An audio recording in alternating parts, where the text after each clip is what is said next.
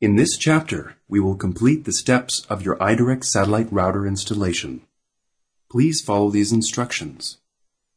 Turn on the iDirect satellite router and wait for the status LED to turn off and for the RX and net LED to turn on. Confirmation of this will mean that the satellite router has fully booted up. Connect a console cable RJ45 to DB9 from the console port of the satellite router to the DB9 PC port COM1 of your computer.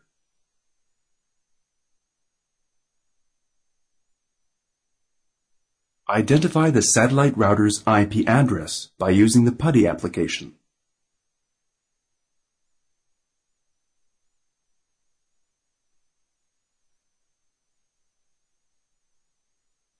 Make sure to use either version 0.6 or above. You can also use the Hyperterminal application to identify the satellite router's IP address.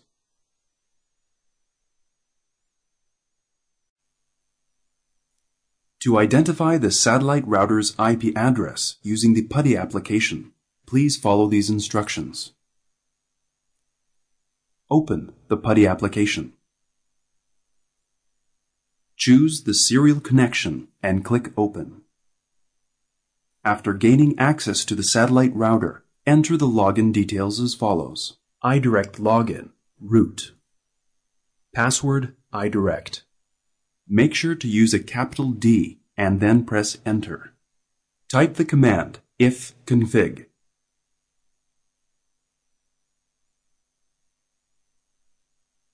On the second line of the IXP card, you will see iNet ADDR, which is the LAN IP address of the iDirect satellite router, and mask, which is the subnet mask of your LAN.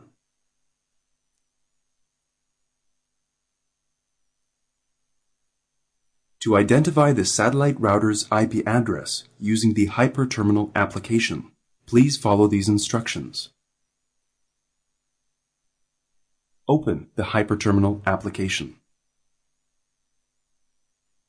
In the Connection Description window, type in a name of your choice and click OK. In the Connect to window, Select COM1, which is the port that is connected to the satellite router. In the COM1 Properties window, choose Restore Defaults. Once you have gained access to the satellite router, enter the login details as follows. iDirect login root. Password iDirect. Make sure to capitalize the letter D. Type the command ifconfig on the second line of the IXP card, you will see iNet ADDR, which is the LAN IP address of the iDirect satellite router, and mask, which is the subnet mask of your LAN.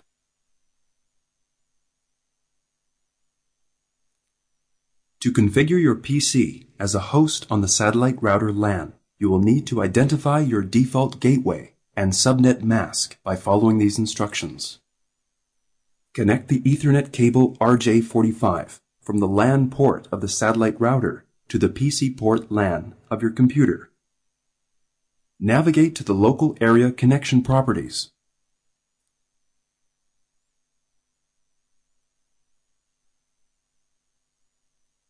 In the General tab, navigate to Internet Protocol and click Properties.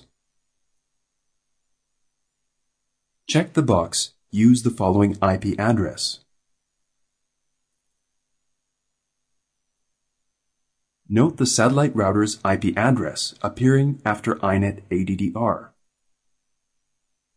In the IP address field, type in the same IP address as the satellite routers, but change the last digit to one value higher than is stated. This will be the IP address of your computer.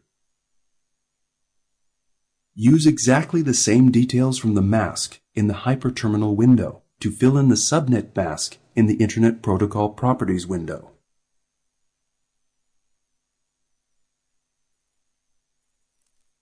Enter the default gateway IP address, which is identical to the satellite router's IP address. Click OK in the Internet Protocol Properties window, and then click Close in the Local Area Connection Properties window. This will apply the changes.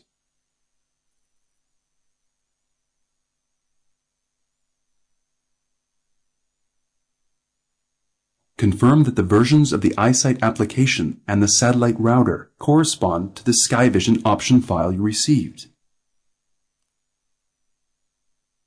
Please check your version of iSite by moving your cursor over the iSite file icon.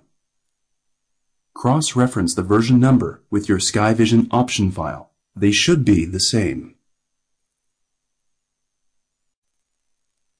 Please check the version of your satellite router by following these instructions.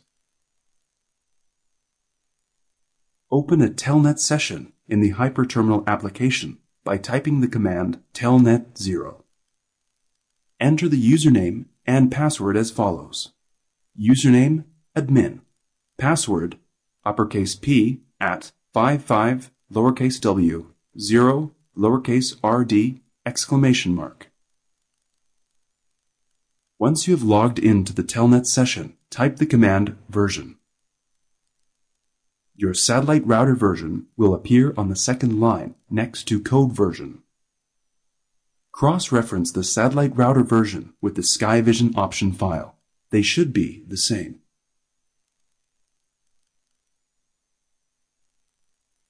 To access the appropriate version of iSite application or satellite router image, you will need to download the remote package which contains the correct version of the iSite application and image of the satellite router from the following link ftp colon slash slash cloud dot sky-vision.net slash pub slash idirect with a capital D slash software.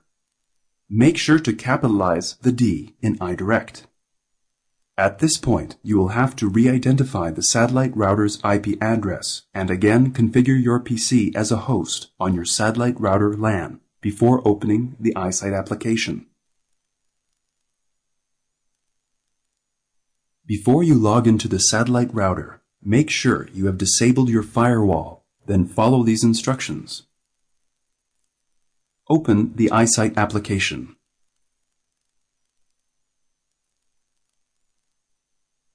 Right-click TDMA Remote and select Login. Enter the password uppercase P at 55 lowercase w 0 lowercase rd exclamation mark. Choose Login as admin and click OK.